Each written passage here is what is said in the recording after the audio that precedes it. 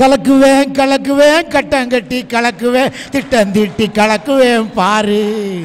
ஏ கிளப்புவேன் கிளப்புவேன் பட்டையத்தான் கிளப்புவேன் பட்டை எடுத்து கிளப்புவேன் பாரு பாரு பாரு. ஏய் கலக் கலக் கலக் ஏய் கலக் கலக் கலக். நல்லா இருந்தேன். கலக்கிக்கிட்டு இருந்தேன் இப்போ கல்யாணத்துக்கு முன்னால். கல்யாணத்துக்கு முன்னால் சூரக்கோட்டை சிங்கக்குட்டி மாதிரி இருந்தேன். ஆ. கல்யாணம் முடிஞ்சது பாளையங்கோட்டை பன்னிக்குட்டியாக மாறிட்டேன். நாகர்கோயில் நாய்க்குட்டியாக மாறிட்டேன் அருப்புக்கோட்டை ஆட்டுக்குட்டியாக மாறி சுற்றிக்கிட்டு இருக்கேன் நல்லா கலக்கிக்கிட்டு இருந்தேன். எனக்கு புத்தி கெட்டு போச்சு. நேராக பஸ் ஸ்டாப்பில் போய் நிற்பேன் அவன் அவன் பொண்டாட்டியை ஸ்கூட்டரில் டர்ன்னு கூட்டி போய்கிட்டே வருவான். எனக்கு ஒரு ஆசை. நமக்கும் கல்யாணம் முடிஞ்சு. நமக்கு ஒரு பொண்டாட்டியை. பின்னால் வச்சு டர்ன்னு கூட்டு போகணும்னு ஆசை. எனக்கும் கல்யாணம் நடந்துச்சு. எனக்கு ஒரு பட்டி வேட்டி ஒரு பட்டி சட்டை. இங்கே கிராஸில் ஒரு துண்டை கெட்டி விட்டான். எதுக்குன்னு கேட்டேன் ஓடையில் பிடிச்சி நிப்பாட்டணும்னா. கையில் ஒன்று கொடுத்தான் என்னென்ன பொக்கை அப்படின்னா. இல்லை இது எதுக்கு கொடுக்கேன்னு. பின்னால் நீ கரண்டி பிடிச்சி சீரழிய போகிற மாவனை புடின்ட்டான். நான் வேற அழகா இருக்கணும். எனக்கு சுனோ போட்டு பவுடர் பூசி அப்படி நடத்தி கூட்டு வந்தாங்க. அங்கேயே மாப்பிள்ளை ஒருத்தர் இருக்கான் கணேசன் விளங்காதவ என் பொண்டாட்டிக்கு தம்பி. அவன் இங்கேருந்து வந்தான் மீ கறியை உரசினான் இந்த இடத்துல பொட்டு வச்சான். எதுக்குன்னு கேட்டேன் கந்து ஹிஸ்ட்ரி பட்டு மச்சான் கந்து ஹிஸ்ட்ரி பட்டுரும்னா என்னைய கொண்டு மனவடையில் உட்கார வச்சுட்டாங்க.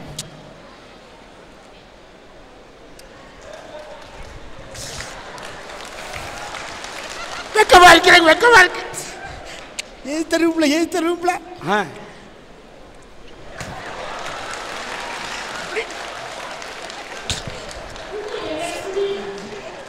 அங்க மூத்தவன் உட்கார்ந்துருக்கான் மூத்தவனா என் பொண்டாட்டி.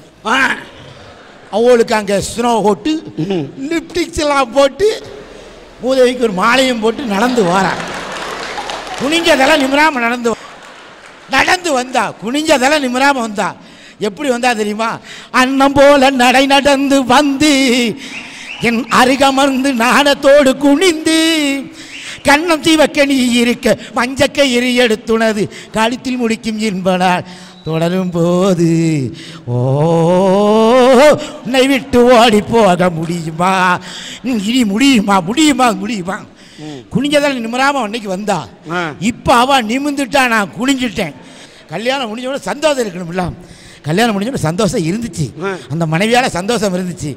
கல்யாணம் முடிஞ்ச மூணாவது மாதம். நான் உண்டாயிட்டேன். ஆ. இல்லை நான் இல்லை.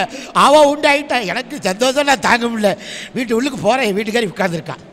என்னை பார்த்தோன்னே செல்லக்குட்டின்னேன் செல்லக்குட்டி என் வீட்டுக்காரி செல்லக்குட்டின்னேன் ஆ. எவனாவது ஒருத்தன் பொண்டாட்டியை செல்லமேன்னு சொன்னால் விளங்காம பெறுவான்னு அர்த்தம். அவன் என் நானே நாய்க்குட்டி மாதிரி இருக்கேன். கூப்பிடலாமா? செல்லக்குட்டின்னு என்னை. பார்த்த உடனே சீ போங்கன்ட்டான் கேட்டி நான் இப்போ தானே வந்திருக்கேன். எங்கே போச்சு விழுதுன்னே நான் நான் தனியாக இல்லைன்னா அப்படின்னா. ஏன் உங்கள் வீட்டுக்கு அம்மா யாராவது வந்திருக்காளான்னு கேட்டேன்.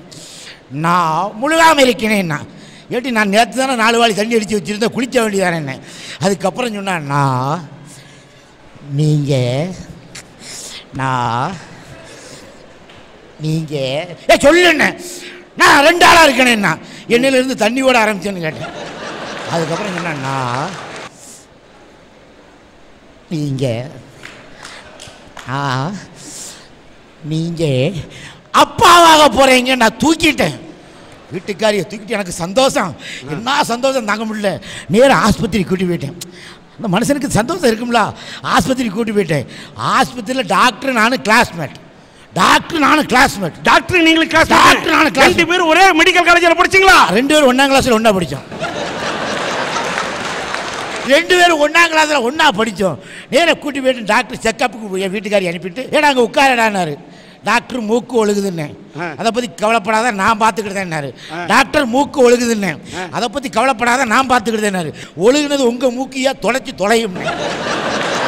அந்த டாக்டர் சொன்னார் நீங்கள் அப்பாவாக போகிறீங்கன்னாரு அது தெரிஞ்சுதான் நான் கூட்டு வந்திருக்கேன்னு. அதுக்கப்புறம் ஒன்று சொன்னார் இனிமேல் பாதி வேலையை நீங்கள் தான் பார்க்கணுன்னாரு. மீதி வேலை எல்லாத்தையுமே நான் தானே பார்த்துக்கிட்டு இருக்கேனே. இதுதாயா சொல்லுதேன் சில ஆட்களுக்கு மனைவி சொல் மந்திரம் எனக்கு மந்திரவாதியாக வச்சிருக்கீங்க. அந்த மனைவி மந்திரம் யாருக்கு மனைவி சொல்? எங்கள் அண்ணன் தாமஸுக்கு மந்திரம் இவன் மந்திரவாதியாக வந்திருக்காளே. மணவடையில் போய் உட்கார்ந்தேன் ஆ, அவளும் வந்து உட்கார்ந்தா. ஆ. அவன் உட்காந்து ஐயர் ம- புகையை போட்டார். பக்கத்தில் எங்கள் மாமா நின்று மாக்கு மாக்குன்னு அழுதுகிட்டு இருக்காரு. ஆ. மாமா அழாதீங்க மாமா. ஏன் புகைப்பட்டதுல கண்ணில் எரிச்சலா? இல்லை பொண்ணு மேலே பாசத்தில் அழுதாரு நினச்சிக்கிட்டேன் மாமா அழாதீங்க மாமா. உங்கள். பொண்ணு கண்ணுல இருந்து கண்ணீர் வராமல் பார்த்துக்கிட்ட மாமான்னே. எங்கள் மாமா சொன்னார் அது கடலை மருமகனே இந்த பேதியில் போவால் இவ்வளோ நாள் வச்சு நான் சனியனை கட்டி அழுதுருக்கேன். நீ சீரழிய போறிய?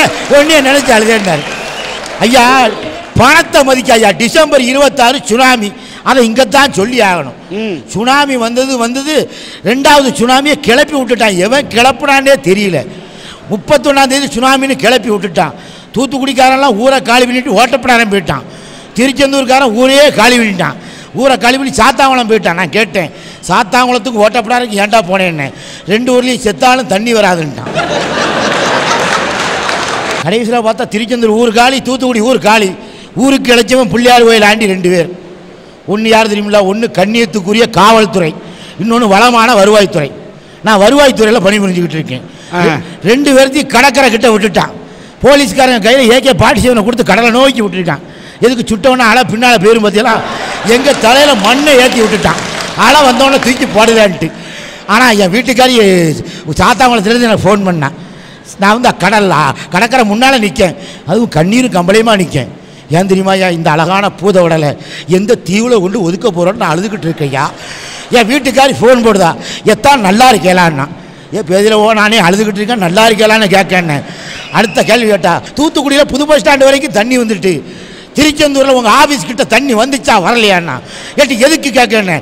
சன் டிவியில் பிளாஸ்டிக் ஓடுது பப்ளிக்கில் செத்தா ஒரு லட்சம் ரூபா அரசு ஊழியர் செத்தா அஞ்சு லட்சம் சொல்றாரு. இந்த மனைவி அவருக்கு ம- மனைவி சொல் மந்திரமா இருக்கலாம். அந்த மனைவி மந்திரம். யாருக்கு மனைவி சொல்? எங்க அண்ணன் தாமஸுக்கு மந்திரம். இவன் மந்திரவாதியா வந்திருக்காளே எனக்கு ரெண்டு பையன் பிறந்தான். விளங்காத பையன். என் வாழ்க்கையை சீரழிக்கிறதுக்குன்னே ரெண்டு பையன். பையன் பையனாக இருக்கானா? பிள்ளைய கொஞ்சலே பொண்டாட்டி கொஞ்சவா. திருட்டு பையன் உள்ள. யாரு? நான் திருடனா திருட்டு பயவில்லை முழிக்கிற முழிய பாரு. அப்பன மாதிரியே குரங்கு மாதிரி முழிச்சு விட்டுருக்காங்க. ஐயா புள்ள புள்ளையா இருக்கான் என் பையன் ஆம்பளைக்கு அழகு என்னது ஐயா? மீசை. அட மீசையை முறுக்கிட்டு எந்த ஆம்பளையாக வீட்டுக்குள்ளே போக முடியுமா? போக முடியாது. நான் மீசையை முறுக்கிட்டு வீட்டுக்குள்ளே போயிட்டேன். ரெண்டு வயலு படுத்து கிடக்கா என் வீட்டுக்காரி உட்காந்துருக்கான் சின்ன பையன் எந்திரிக்கான் மேப்படியான பாருங்க மேப்படியா யார்? நானும் மேப்படியா அவனுக்கு. மேப்படியான பாரு மீசியை தூக்கி விட்டுருக்காங்க பெரிய வயசில் தான் சனியை தூங்கட்டும். சனியை யார்? அதுவும் நான் தான். சனியன் தூங்கட்டும். கத்திரிக்கோலை வச்சு மீசையை வெட்டிடுதேங்க. ஆனால் என் வீட்டுக்காரி இதே தேவம் இருக்கா பார்த்தீங்களா கோவம் வந்துட்டு. நம்ம அப்பா அப்படி சொல்லக்கூடாது. நம்ம அப்பா அப்படி பேசலாமா? அப்பா அசந்து தூங்கட்டும். கொல்லிக்கட்டை தாரேன் மீசையை கறிக்கிறேன்ட்டான் இதே தெய்வம் சொன்னா எங்கள் நேற்று வீட்டுக்கு போனேன். நாலு கிளாஸ் பாயாசம் வச்சுருந்தா அப்படியே குடிச்சிட்டேன் மடக்கு மடக்குன்னு. குடிச்ச பிறகு தான் எனக்கு ஆசை. என்ன தான் அவ குடிச்சாளா இல்லையா? ஒரு ஆசை ஏல வச்ச பாயசம் இல்லையா? ஆமா குடிச்சா ஏன் செல்லக்குட்டி நீ பாயாசம் குடிச்சானே எனக்கு வேண்டான்னா ஆ. ஏட்டி ஏன்னு. அதுல பள்ளி விழுந்திருக்கு நீரே குடியும்ட்டா ஐயா பள்ளி விழுந்த பாயசம் குடிச்சு உயிரோட தானே இருக்கீங்க? என்ன செய்ய சொல்லுதிய? பள்ளியை விட விஷமானவன் என் பொண்டாட்டி. அவ கூடயே பன்னெண்டு வருஷம் வாழ்க்கை நடத்திருக்கிறேன் பள்ளியெல்லாம் பெருசா எனக்கு. மனைவி சொல்லே மந்திரம் அது எல்லாத்துக்கும். எனக்கு மனைவியே ஒரு மந்திரவாதியா வச்சிருக்கா. அவன் அடினா அடி கொடுக்குறா. துவைன்னா துவைக்கிறேன். ஓடினா நான் ஓடுறேன். உட்காருனா உட்காருறேன். அதை பற்றி தான் ஐயா பேச வந்திருக்கேன். நிக்க சொன்னா நிக்கிறீங்களா? நிக்க சொன்னா நின்றுக்கிட்டு இருக்க ஐயா. ஐயா ஆடி கழிவு இங்க நிக்க சொல்லி இருக்கிறாங்களா ஐயா நான் இந்த இடத்துக்கு நான் அவளை கூட்டு வர முடியாது ஐயா. சரி சரி. அவளை பார்த்தோன்னா எனக்கு பேச்சு ஓடாது மொத்தத்தில். ஐயா ஆடி கழிவு வந்துட்டுனா ஆடி போயிடுது ஐயா ஆடி. ஆடி கழிவுக்கு ஒரு சேலை கேட்கா. ஆடாத கழிவுக்கு ஒரு சேலை கேட்கா. அவளுக்கு அன்னைக்கு பிறந்த நாள். ஒரு சேலை எடுத்தாங்கன்னா. ஒரு பதினஞ்சு நாள் கழிச்சு எனக்கு பிறந்த நாள். எத்தனை உங்கள் பிறந்த நாள்னா? என்ன வேணும்னே? சேலை வேணும்னா. சேலை நான் கெட்டப்படாதுன்னே. எனக்கு எடுத்தாரும்னா. அவள் பிறந்த நாளைக்கு ஒரு சேலை என் பிறந்த நாளைக்கு சேலை. போன மாதம் திடீர்னு எந்திரிச்சா எத்தான் பிறந்த நாள்னா. யாருக்குன்னே? அஜித் குமாருக்கு பிறந்த நாள்னா. அவர் பிறந்த நாளுக்கு உனக்கு என்னமா சம்மந்தம் இருக்குன்னே. அஜித் ரசிகர் ஒரு சேலை எடுத்தான்னா எட்டு சேலை எடுத்து கொடுத்துட்டு நான் சீரழிஞ்சுக்கிட்டு இருக்கேன். வீட்டில் வந்து நிம்மதியாக இருக்க முடியுதா ஐயா? வீட்டில் நிம்மதியாக இருக்க முடியுதா? சேர் ஓட்டு உட்காந்துருக்கேன் எனக்கு ரெண்டு பையன் இருக்கான். விளங்காத பையன் ரெண்டு பையன் இருக்கான். ஆமாம் விளங்காத பையன். ஆமாம் ஐயா ரெண்டு. அப்பன புள்ள தானே புள்ள இருப்பான். என்ன செய்ய நான் வீட்டில் சேரை போட்டு உட்காந்துருக்கேன் பேப்பர் பார்த்துக்கிட்டு இருக்கேன். என் பையன் ஓடி வரான் சின்ன பையன். என் வீட்டுக்காரி உட்காந்துருக்கா என். பையன் சொல்லுதான் பக்கத்து வீட்டு பாபு வீட்டுக்கு போயிருந்தேன் பாபு அப்பா போட்டோல பல்ப் மாட்டியிருக்காங்க ஆ. சீரியல் செட்லாம் மாட்டியிருக்காங்க. அப்பா படத்துக்கிட்ட லட்டு ஜிலேபிலாம் படையல் பண்ணி வச்சிருக்காங்க. நம்ம அப்பாவுக்கு என்னைக்குன்னு கேட்கான் உடனே என் வீட்டுக்காரி சொன்னா அதெல்லாம் செத்த உறவு தான் வைக்கணும்னா என் பையன் கேட்கான் அடுத்தால நம்ம அப்பா என்னைக்கு சாவான்னு கேட்கான் என் வீட்டுக்காரி சொல்றா அப்பா அதெல்லாம் காலம் கனின்னு வைப்பாங்க என். பையன் கேட்கா எப்போ கனியுங்க கூடிய சீக்கிரத்தில் உங்கள் அப்பனை முடிச்சிருதேங்க இதுதாயா சொல்லுதே? சில ஆட்களுக்கு மனைவி சொல் மந்திரம் எனக்கு மந்திரவாதியாக வச்சிருக்கீங்க. ரெண்டு பொண்டாட்டியால தகராறு. ரெண்டு முண்டாட்டியா உமாக்கு ரெண்டு பொண்டாட்டியால தகராறு. எனக்கு ரெண்டு பொண்டாட்டி இல்லை. எங்கள் அப்பா பொண்டாட்டி ஒன்று ஏன் பொண்டாட்டி. எவ்வளவு விவரமா இருக்கீங்க? வீட்டுக்குள்ளே போகிறேன் எங்கள் அம்மா முடி என் வீட்டுக்காரி கையில் இருக்கு. ஆ. எங்க வீட்டுக்காரி முடி எங்க அம்மா கையில் இருக்கு. நீங்க தப்பா எடுத்துக்கூட டோப்பாவன் ஒரிஜினல் முடி. இவ அங்க இழுக்கா இவ இங்க இழுக்கா. அவ அங்க இவ இங்க. நடு வீட்டில் ஒருத்தன் சேர் ஓட்டு சிரிச்சுக்கிட்டு இருக்கான். வேற யாரும் இல்லை. என்னைய பெத்த அப்பன் உள்ளுக்கு போனவனே எப்பா ரெண்டு பேதில் ஓ சண்டை ஓடுதா நடு வீட்டில் உட்காந்து நீ சிரிச்சுக்கிட்டு இருக்கேன்னு உனக்கு போர் அடிச்சுன்னா இன்னொரு சேரை போட்டு உட்காரு. நீ பார்த்து சிரின்ட்டான். வேறு ஒன்றும் இல்லையா? பொம்பளை அவ்வளோரும் பாருங்கள் இந்த கேன் பேக்குன்னு ஒன்று தொங்க போட்டிருக்கா. எங்கே கண்டுபிடிச்சான்னு தெரியல. என்னமோ கேன் பேக்கில் ஒரு லட்ச ரூபா பணமாக வச்சுருக்க போகிற ரெண்டே ரெண்டு கடலை மிட்டாய் ஒரு ரெண்டு கேர்பின் இவ்வளோ காண ஸ்டிக்கர் போட்ட வச்சுக்கிட்டு சிடுக்கு சிடுக்கு சிடுக்கு சிடுக்குன்னு போய்கிட்டு இருக்கான் ஸ்டிக்கர் போட்ட நெத்தியில் வைப்பாங்க. எங்கள் வீட்டில் நாய்க்குட்டி மேலே பொட்டை ஒட்டியிருக்கா எருவு மட்டும் மேலே பொட்டை ஒட்டியிருக்கா என்னையா செய்ய சொல்லுதிய பொட்டு வட்டமாக வைக்கணும்.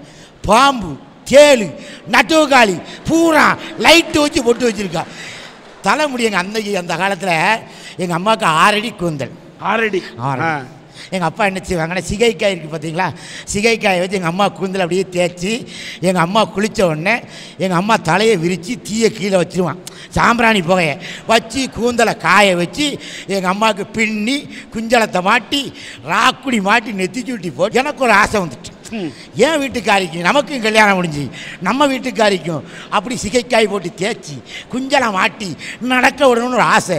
கல்யாணம் முடிஞ்ச மூணாம் நத்து என் வீட்டுக்காரி அப்படி பால்கனியில் உட்காந்துருக்கா எப்போ அவங்க பால்கனியில் தான் உட்காந்துருப்பான் அங்கே உட்காந்துருக்க என் வீட்டுக்காரியை பார்த்து நான் கேட்டேன் செல்லக்குட்டி எங்கள் அப்பா எங்கள் அம்மாவுக்கு தலையில் சிவக்கா தேய்ச்சி அப்படியே சாம்பிராணி காட்டி தலையை பின்னி விடுவார். உனக்கு நான் பின்னணும்னு ஆசைப்படுறேன் பான்னேன் அது எதுக்கு நான் அங்கே வரணும் இந்த புடின்னு டோப்பாக கலத்தி தூக்கி கையில் தூக்கிட்டாரு வாழ்க்கையில் நொந்து நூலாகி போயிருக்கான் ஐயா சமீப காலம் ஒரு ரெண்டு மாதத்துக்கு முன்னால். இந்த தூத்துக்குடி மாவட்டத்தில் பேய் பிறலையை கிளப்பி விட்டுட்டா எவனோ ஒருத்தன். கழுகுமலையில் கிளம்புன பேய் பிறலை திருச்செந்தூர் வரைக்கும் வந்துட்டு. அவன் வீட்டில் ஒரு வேப்ப மரத்தை ஒடிச்சு குத்திக்கிட்டே இருக்கான். ஏன் வீட்டுக்கு திருச்செந்தூரில் ஒருத்தன் வந்தான். இவ்வளோ வேப்பங்குச்சியை கொண்டு வந்தான் சொருகணும் நான் எதுக்குன்னு பேய் வருதுன்னே பேய் வருதுன்னா. எப்படிடா வருதுன்னே? ஒரு அம்மா வருவாங்க கூட ஒரு புள்ள வரும் தண்ணி கேட்கும் உங்கள் வீட்டம்மா தண்ணி கொண்டு வர போயல அம்மா இருக்க மாட்டாங்க ரத்தம் கேட்கி செத்து போயிடுவான்னாங்க நான் சொன்னேன் அம்மா வரட்டும் புள்ள வரட்டும் தண்ணி கேட்கட்டும் எங்கள் வீட்டு பேயை பார்த்து சாகுதா இல்லையான்னு பாருங்க. மனைவி என்பவர் மந் மனைவி சொல் மந்திரம் இல்லையா? மனைவி வெறும் தந்திரவாதி மந்திரவாதி சுட்டு சுண்ணாம்பான சில ஆண்களின் மத்தியில் நானும் ஒருத்தையான்னு சொல்ல வந்திருக்கேன். காமெடியா நகைச்சுவையாக பேசுனீங்க. இருந்தாலும் ஏதோ நகைச்சுவைக்காக தான் மனைவி இப்படி தாக்கியிருப்பீங்கன்னு நினைக்கிறேன். நிஜத்தில் அப்படி இருக்காதுன்னு நினைக்கிறேன். ஐயா. ஐயா உண்மையிலே நகைச்சுவைக்காக தாக்கினாலும் என் மனைவி எப்படின்னா சொல்லி தானே ஆகணும். நான் நகைச்சுவையாக நிறைய பேசுவேன். இது நகைச்சுவைக்காக தான். சில மனைவிகள் இருக்கிறாங்க. அதுக்கு எடுத்துக்காட்டு என் மனைவி. ராமேஸ்வரத்தில் ஒரு நிகழ்ச்சிக்கு போயிருந்தேன். ஒரு ஆயிரம் கூட்டம் இருக்கும். என் மனைவி இப்படி தான் பேசிக்கிட்டு இருந்தேன். என் மனைவி கூட்டத்தில் உட்காந்துருந்தா என் மனைவி அப்படியே பார்த்துக்கிட்டே இருந்தேன். ஆனால் என் மனைவி சிரிச்சுக்கிட்டு இருந்தான் நேராக கீழே இறங்கினேன் உன்னை இப்படி வாங்கு வாங்குன்னு வாங்குதானே உனக்கு சூடு சொரணியே இல்லையான்னு. என் மனைவி சொன்ன ஒரு வார்த்தை என்ன தெரியுமா ஐயா நான் சொல்லிதானே ஆகணும். எத்தனை ஏசி என்ன ஏசுங்க ஏசுங்க. ஆனால் உங்களுக்கு விழுந்த ஒவ்வொரு கைத்தட்டும் எனக்கு கிடைச்சிருக்க சந்தோஷம்னு சொன்னாயா என்ன?